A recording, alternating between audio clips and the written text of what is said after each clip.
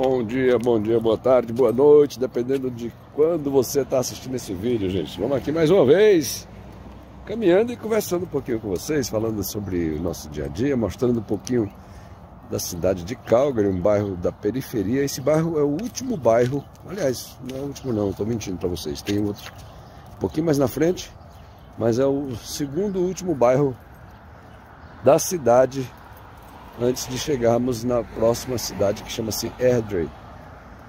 É, então é um bairro de periferia, sim. E eu quero mostrar para vocês um pouquinho da, da nossa região aqui. Vocês lembram que no vídeo de segunda-feira eu mostrei essa área aqui que estava para fazer ainda cortar a grama? Já andaram cortando aqui, olha só. Não fizeram um trabalho muito bom não, porque ainda deixaram. Vamos, whisky, whisky, calma. Ainda deixaram aqui umas umas plantinhas dandelion. Isso aqui é uma, uma, uma, praga, rapaz. Esses, tá vendo aqui esses esses esporões aqui, ó. Isso aqui o vento dá, leva. E aí ele, onde ele cai, se o gramado não tiver muito bem fechadinho, ele vai criar uma nova plantinha aí. Então fica essa essa coisa feia. Mas bom, já melhorou, né?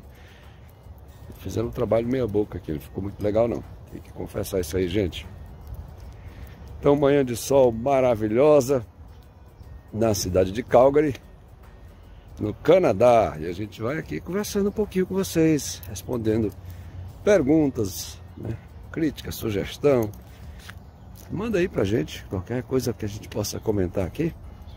A gente tá caminhando, tá? O objetivo dessas caminhadas, gente, é que eu, quem está chegando agora no canal, eu fui diagnosticado com colesterol alto. Estou é, também pré-diabético. Estou ferrado, né, não? E aí o, o, médico falou o seguinte, ó, você tem que mudar seus hábitos, você tem que começar a fazer caminhadas, começar a reduzir açúcar. Se bem que eu não sou muito fã de, de, de, de, coisas com muito açúcar, não. A única coisa que eu gosto, mesmo que tenha açúcar bastante, é o chocolate, né? Isso também eu já dei uma cortada. Mas eu estava tomando também refrigerante, tá, gente? Eu, eu, tem um supermercado aqui que a gente sempre faz compras lá, chama-se Costco. Eu gosto muito desse supermercado, porque a qualidade das coisas é muito boa. Eles têm um, um atendimento ao cliente também excelente, muito bom mesmo. E isso tudo a gente é, gosta, né? Cativa o cliente. Eles têm um atendimento realmente muito bom. Os produtos são muito bons, os preços também são muito bons. Então junta tudo, né? Atendimento, preço, produto. E aí já viu, a gente compra muito lá nessa loja. E lá eles têm uns, uns pacotes de refrigerante, rapaz. São 32 latinhas de refrigerante por 10 dólares. Cara, já pensou? 32 latinhas de 355 ml por 10 dólares, 10,69, vai.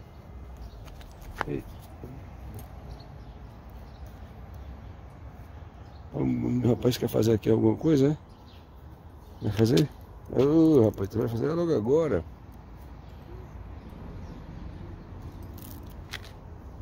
Não fez não? Fez não, pessoal. Não. Bom, quis fazer, mas não fez. Então, eu estava comprando uma, essa caixa de refrigerantes de 10 dólares. Tem Coca-Cola. É muita Coca-Cola. 32 latinhas de Coca-Cola, meu amigo. Ah, então, eu estava realmente, na hora do almoço, comia com a Coca-Cola. E aquilo lá só tem açúcar, né, rapaz? Vamos combinar. Açúcar pra caramba. Aí o que, que eu fiz? Depois dessa chamada, nessa chamada na chincha que o meu médico proporcionou, eu parei de comprar esse refrigerante. Então já não estou mais tomando refrigerante. Chocolate, estou reduzindo muito. Né? Reduzi bastante chocolate. E café com açúcar, essas coisas eu já não tomava mesmo. Né? Eu gosto do café. Só o café mesmo, puro, sem nada. Então, isso aí não é problema para mim, tá? Mas outras coisas também tem açúcar, né? Vamos lá, vamos seguir aqui essa, essa trilha. Vou mostrar aqui um bairro que... Isso aqui era antes um campo de golfe. Onde tem esses predinhos aí, ó. Eles pegaram o campo de golfe.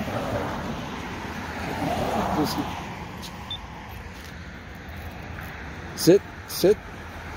É, olha só, família. Família do bom, viu? Atende já. Então, esse, esse, esse condomínio aqui, gente, esse aqui é bem novinho. Eles ainda, na verdade, estão construindo algumas unidades. Eu vou mostrar até para vocês aqui, porque eu estava conversando com o nosso amigo Day Tripper, em São Paulo. Um abraço, Day Tripper! E ele não acreditou quando eu falei que essas casas, tudo isso aqui é tudo feito de madeira. Tudo madeira, gente. Eles fazem o frame primeiro, depois fazem as camadas, várias camadas, enfim. É um negócio bem feito mesmo. Mas é tudo madeira, tá? Engraçado que eu morei no Paraná, em Londrina. Um abraço para o pessoal do Paraná durante quase quatro anos. E lá em Londrina, casa de madeira é sinônimo de gente de recursos financeiros muito baixos, né? Gente sem. Desculpa. Mas aqui não, aqui as casas de madeira elas são. tem um acabamento impecável. Você olha assim, você não diz que é casa de madeira. Né? Algumas o revestimento externo é de vinil, eles botam placas de vinil. Outras são madeira por fora, outras são. É, eles botam um, um, um, tipo um reboco, como essa casa da esquina ali, ó. É um reboco. Mas essas aqui elas têm umas placas, né, de, nem de madeira, não é um material sintético, tá gente? Que imita madeira, mas na verdade não é madeira. E é por fora essa, essa, essa, essa esse acabamento, por dentro é, eles colocam placas de drywall e aí fica tudo bem acabado, fica muito bem feito, não, não tem você não vê madeira, não vê nada. Casa por dentro é normal como uma casa qualquer. Olha só. Então isso aqui tudo era um campo de golfe, gente, antes. E eles desmancharam esse campo de golfe. Acho que venderam, né, para a construtora e a construtora fez aí várias unidades desse, desse prédio. Tem uma área que ainda está em construção, vamos já chegar lá. Vou mostrar para vocês um pouquinho para vocês verem como é que é a, como é que eles fazem as casas aqui. Vamos entrar aqui, gente, pra gente ver. Vou mostrar uma coisa interessante para vocês. Isso aqui, ó, esses botijões, vamos dizer assim, que seja um botijão tá enfiado no chão aqui. Isso aqui é um, depósito para colocar lixo. Tem um pessoal que mora aqui nesses prédios, eles vêm aqui e colocam lixo nesses depósitos, depois vem um caminhão e, e retira de dentro aqui uma sacola enorme que tem. Olha só, Vou mostrar aqui para vocês. Tá vendo aqui, ó? Eles puxam e levanta por essa argola aí e aí faz um, um recolhimento do, do, do lixo. Chama-se moloc esse, esse estilo de, de, coletar o lixo aqui. Olha só. Tem o, o de papel reciclável, né? Aqui lá é o lixo comum, esse aqui é o lixo reciclável. O pessoal coloca papelão, caixa, essas coisas todas. E aqui é o lixo orgânico. Então, aí o caminhão vem e recolhe. Então, quem mora nesse, nesse prédio aqui, nesse, nesse condomínio aqui, o caminhão de lixo normal, ele não vem recolher de porta em porta como é na nossa, né, na nossa casa. Então as pessoas têm que caminhar até o Moloch, e aí deposita lá o seu lixo e vem um caminhão aqui com uma frequência que eu não, não sei agora lhe dizer, mas enfim, o caminhão vem e recolhe. Pronto, eu queria mostrar para vocês exatamente isso, gente. Aqui tem uma obra em andamento ainda. Eles estão construindo as últimas unidades desse condomíniozinho. Um condomínio bem legal, viu? Aqui, olha só, é o gás que alimenta os, os apartamentos. Então, nesse prédiozinho aqui tem quatro unidades, tem quatro apartamentos. O gás é tudo subterrâneo. energia também é toda subterrânea, água, tudo, tudo é embutido tudo é debaixo do chão. Então vamos lá. Olha só, isso aqui está em construção. Estão fazendo aqui, são casas, que já não é mais o condomínio, já é uma casa. E olha só como é que é. É tudo de madeira. A base da casa é de concreto. Eles fazem uma base de concreto e a madeira é parafusada em cima do concreto. E aí eles vão fazendo, olha só. Depois faz o acabamento que fica igualzinho aquela casa ali que vocês estão vendo, olha só. Toda na madeira. Então eles têm equipes que vêm para fazer o trabalho. Tem uma equipe que vem e faz a, a fundação da casa, né, a parte de concreto. Aliás, antes tem um que faz a escavação. Né? E é interessante, antes de fazerem as casas, eles fazem toda a parte de infraestrutura. Tá? Os, os acabamentos de asfalto, essa coisa toda é feita antes. E aí depois é que eles vêm e fazem a casa. Tem essas bandeirinhas aí, olha só, para marcar no chão ali, tá vendo o lugar onde vai ficar algumas coisas, onde tem tubulação, onde tem tudo. É tudo marcado para eles já saberem. Aqui com certeza vão fazer uma casa também entre essas duas. Mas olha só, é bem interessante. Eles vão construindo devagarzinho. E olha só, essa aqui já está com as janelas, a porta. Aqui eles vão jogar terra depois para chegar mais perto ali do começo da escada. Aqui é a garagem, olha só. Essa garagem, essa casa tem uma garagem para três carros. Muito boa casa, viu? Deve ser caríssima pelo, pelo tamanho dela. Garagem para três carros.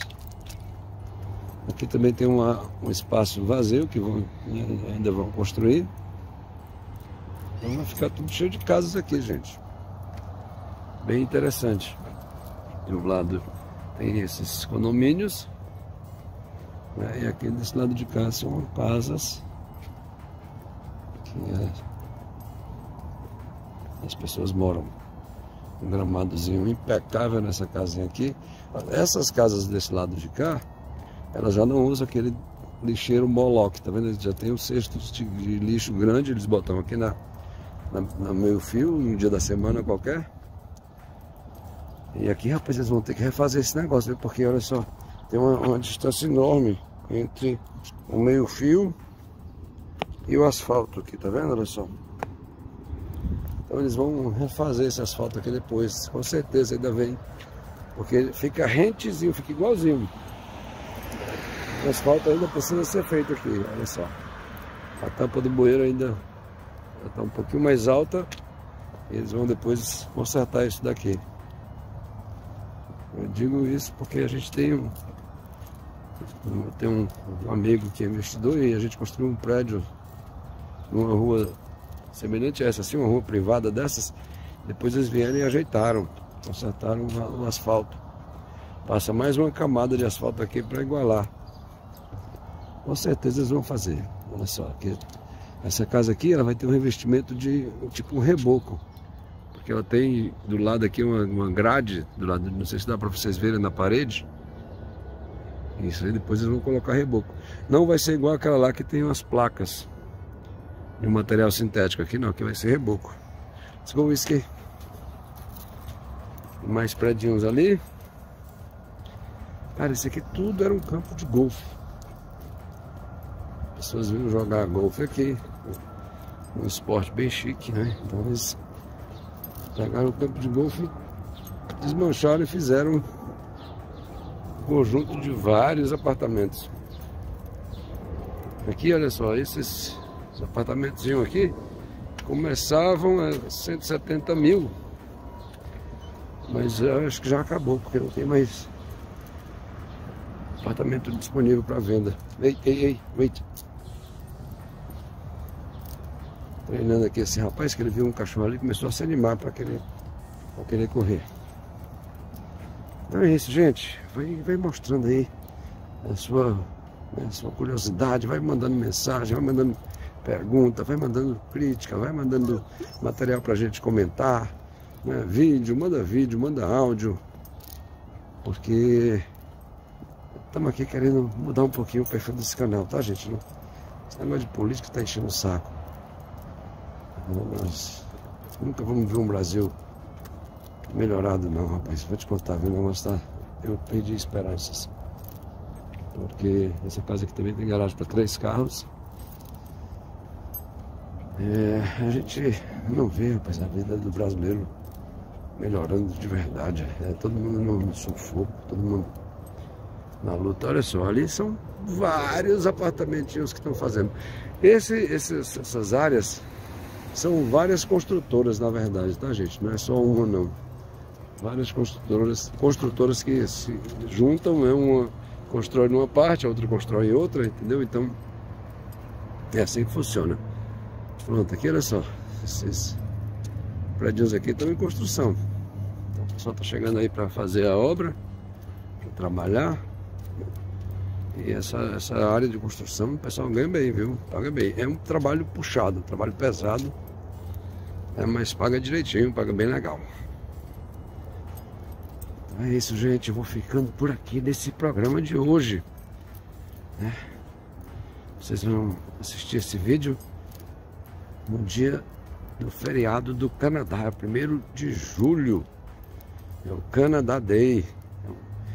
É um grande evento na cidade, tem queima de fogos de artifício. É muito legal. Vou ver se eu faço um vídeo né, da queima de fogos para vocês no dia 1 de julho, né, para ir ao ar na segunda-feira, né, ah, dia 4 de julho, portanto. Vamos lá.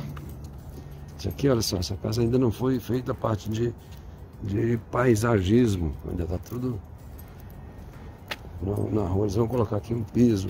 Um, aqui também a garagem ainda não foi feita a entrada. Olha só, chama-se driveway. Driveway é essa, essa entrada de carro aqui na garagem, tá gente? Tá concreto ainda já com a armação de ferro para fazer, para postar, para botar o concreto, né? Pronto, olha aqui a diferença. Essa aqui, ó, ainda vão fazer. Já tá terra, botar gramado, botar tudo para ficar igual essa daqui, ó. Aí os gramados vão juntar todos e vai ficar tudo lindo e maravilhoso. Então é isso, gente. Você estará assistindo esse vídeo no dia do Canadá, que é 1 de julho, mas é, foi gravado, lógico, com antecedência, e a gente vai publicar esse vídeo é, é, no dia do, do Canadá Day e Canadá Day já é, uma, é dia do Canadá, né? E, e à noite eu vou fazer a filmagem dos fogos de artifício para mostrar para vocês na segunda-feira, dia 4. Tá bom, gente? Grande abraço, beijo, cheiro e queijo.